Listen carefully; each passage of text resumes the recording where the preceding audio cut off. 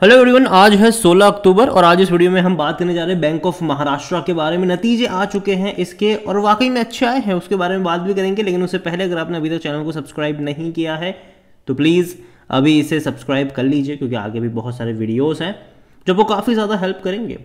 तो देखिए, डेढ़ परसेंट की तेज़ी बैंक ऑफ़ महाराष्ट्र ने दिखाई है, और आज भी अगर हम देखें तो स्मॉल कैप और मिड कैप ने काफ़ी अच्छा परफॉर्म करा है।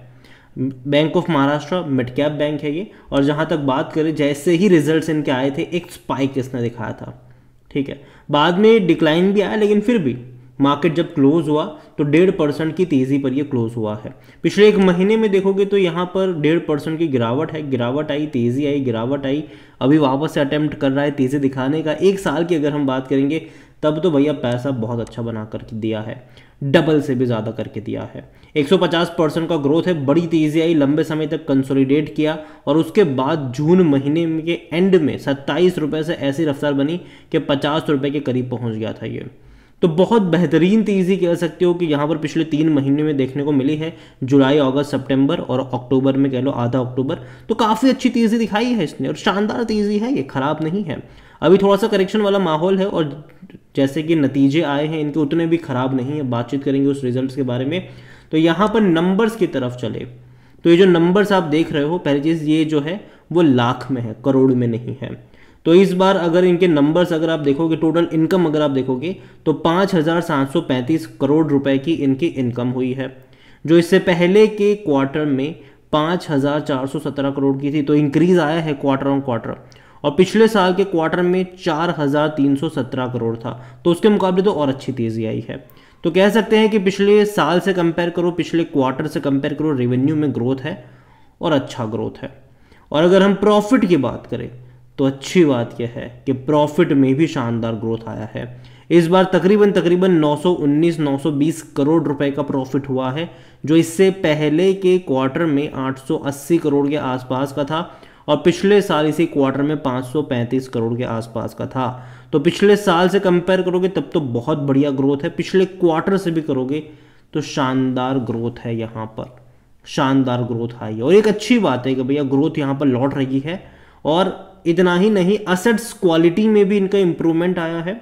यहाँ पर अगर आप देखोगे तो जो एनपीए है ना ग्रोस एन जो है ग्रोस एन इस बार 2.19 परसेंट का है।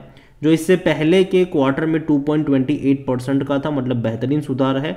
और पिछले साल तो भैया 3.40 परसेंट का था, उसके मुकाबले तो बहुत अच्छा है यहाँ पर। इवन इनका जो नेट एन है, वहाँ पर भी अच्छा सुधार आया है। 0.23 परसेंट का है, जो इससे पहले के क्वार्टर में 0.24 परसेंट का था, और पिछले साल 0.68 परसेंट का था। तो देखा जाए तो नेट एन ग्रोस एन में सुधार जो है वो अच्छा है। हालाँकि नेट प्रॉफिट मार्जिन अगर आप देखो तो थोड़ा सा दबाव बना है पिछले क्वार्टर के मुकाबले। 16.04 का रहा है इस बार, जो पहले के क्वार्टर में 16.28 था, लेकिन पिछले साल ये 12 तेरह के आसपास का था। तो उसके मुकाबले तो अच्छा मार्जिन यहाँ पर धीरे धीरे हो रहा है। और अच्छी बात यह कि लगातार क्वार्टर ऑन क्वार्टर यहाँ पर इंप्रूवमेंट आए हैं क्वार्टर ऑन क्वार्टर लगातार ग्रोथ आई है। और ये एक बेटर चीज़ है यहाँ पर। अगर बात करिए तो स्मॉल मिड कैप बैंक है ये। और इनका जो मार्केट कैप है वो तैंतीस हज़ार करोड़ से भी ज़्यादा का है। तेज़ी डेफिनेटली पिछले तीन महीनों में बहुत बड़ी रफ्तार आई, लेकिन फिर भी इसका जो पी रेशो वो वो तकरीबन ग्यारह का है, जो कि एवरेज इंडस्ट्री से कम ही है तो सस्ता है, उतना महँगा आप इसको नहीं कह सकते हैं। और जहाँ तक बात करें डिविडेंड की तो पे कर रहा है। इस साल एक रुपये तीस पैसे का पे कर रहा है। देखो, तीन महीने पहले ये शेयर जो था, वो सत्ताईस रुपये का था, ठीक है? और सत्ताईस रुपये का शेयर अगर आपको एक रुपये तीस पैसे का डिविडेंड पे करे तो वो अच्छा डिविडेंड माना जाता है। ख़राब नहीं होता, बेहतरीन डिविडेंड माना जाता है। और अगले साल डिविडेंड और ज़्यादा पे करेगा, क्योंकि तब तक शेयर प्राइस में भी उतनी बड़ी तेज़ी आ जाएगी। तो मुझे हैरानी नहीं होगी कि अगले साल आपको ये दो ढाई रुपये का डिविडेंड पे करना शुरू कर दे। जहाँ तक बात है इनके नंबर्स की तो वो हमने बातचीत कर ही ली। लगातार ग्रोथ यहाँ पर देखने को मिल रहा है। अगर बात करें शेयर होल्डिंग की तो देखो, बड़ा जो गेम है वो यहीं पर छुपा है और ये बहुत जल्दी हो सकता है। आज देखिए, जो गवर्नमेंट की होल्डिंग थी 90.97 परसेंट की होल्डिंग थी मार्च में गवर्नमेंट में जून में उसको बेचा और 86.46 पर लेकर आए। ठीक है? अभी भी सितंबर में 86.46 ही है। अभी एक दो क्वार्टर तक तो गवर्नमेंट अपनी होल्डिंग को बेचेंगे नहीं, लेकिन इस एक दो क्वार्टर में गवर्नमेंट ये ज़रूर कोशिश करेगी कि इस बैंक का शेयर और ऊपर की तरफ़ जाए, ताकि और अपनी होल्डिंग को कम कर, थोड़ा सा और पैसा यहाँ पर बाँध पाएगी यहाँ पर पब्लिक के पास लगातार अपनी होल्डिंग बढ़ रही है। पब्लिक की 7.76 परसेंट की होल्डिंग है, और ये लेटेस्ट शेयर होल्डिंग पैटर्न है। पब्लिक का पहले 6.43 परसेंट की होल्डिंग थी, अभी 7.76 है। एफ़ ने बिकवाली करी है, यहाँ पर 0.68 से घटाकर 0.59 पर है लेकिन वही एफ़ ने मार्च में लगा मतलब जून में बड़ी खरीदारी भी करी थी। यहाँ पर अगर आप देखो डीएलएस की मैं बात करूँ तो डी में म्यूचुअल फंड खरीद रहे हैं, लगातार खरीद रहे हैं। 0.23 से बढ़कर 0.38 पर आए, फिर 0.53 पर आए। तो यहाँ पर म्यूचुअल फंड लगातार बाई कर रहा है। हालाँकि इंश्योरेंस ने पहले खरीदारी करी 5.45 पर आ गए 3.08 से। अभी लास्ट क्वार्टर में 4.68 पर सॉरी 64 पर आया ज़रूर है। देखिए ओवरऑल मुझे ये बैंक ख़राब नहीं लगता है।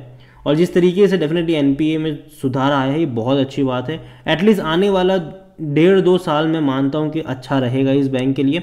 उसके बाद जो एनपीए का खतरा है, जिस तरीके से नए नए लोन बांटे गए हैं, कुछ ऐसे लोन भी है जो जिसको रिकवर करना मुश्किल होगा आने वाले टाइम में। अगर मार्केट कंडीशन सही नहीं रही तो। लेकिन मुझे लगता है कि अभी भी उतना भी महँगा मैं इसको नहीं मानता हूँ। पचास रुपये के नीचे जब तक बैंक ऑफ़ महाराष्ट्र का शेयर है बायोन डिप्स के जो है मौके हैं, वो यहाँ पर बनते हुए नज़र आ सकते हैं। ये मेरा मानना है और मैं अभी भी यही कहूँगा कि अगर आपके पास है तो लॉन्ग टर्म का दाव यहाँ पर आप खेल सकते हैं। साठ सत्तर रुपये के लेवल आपको दिखाएगा ये लॉन्ग टर्म की मैं बात करूँ शॉर्ट टर्म में नहीं। शॉर्ट टर्म में अभी भी थोड़े बहुत अप्स एंड डाउन जो है वो यहाँ पर देखने को मिलेंगे ज़रूर, लेकिन लॉन्ग टर्म का आउटलुक मुझे यहाँ पर पॉजिटिव लगता है। हाँ एक चीज़ याद रखिए रिजल्ट्स के बाद तेज़ी आई यहाँ पर, ठीक है? हो सकता है कि कल भी तेज़ी बने, कुछ दिन की तेज़ी है, लेकिन उसके बाद एक करेक्शन भी आएगा। हो सकता है कि यहाँ से ये पचास पे जाए, लेकिन उसके बाद एक करेक्शन दिखाएगा जो इसको लेकर भी जाएगा नीचे की तरफ़।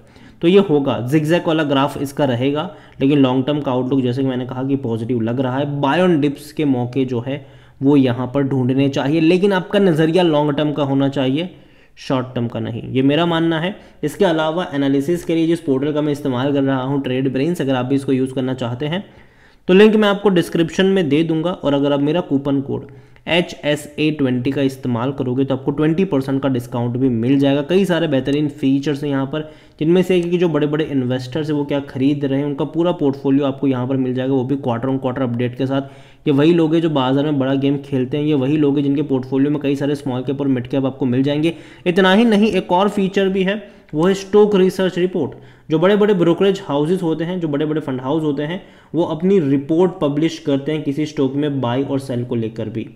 और क्यों उन्होंने किसी शेयर्स को खरीदारी करने के लिए बोला या फिर बिकवाली करने के लिए बोला है, उसकी पूरी रिपोर्ट्स भी वो पब्लिश करते हैं। तो और अगर आप चाहो तो उसको जाके पढ़ भी सकते हो इस पर व्यू रिपोर्ट पर क्लिक करके। तो देर किस बात की है? लिंक डिस्क्रिप्शन में है कूपन कोड का इस्तेमाल करना भूलिएगा नहीं। वीडियो को यहीं पे एंड करूँगा। पसंद आया हो तो लाइक करें शेयर करें चैनल पर अगर पहली बार हैं तो प्लीज़ सब्सक्राइब करें। और बैंक ऑफ़ महाराष्ट्र के बारे में आप क्या सोचते हैं, वो भी आप मुझे कमेंट में लिख के बता सकते हैं। इसके अलावा जो रिज़ल्ट कैसे आए हैं, सरकारी बैंक में कौन सा बैंक आपको पसंद है, वो भी मुझे कमेंट में लिख के ज़रूर बताइएगा। Thank you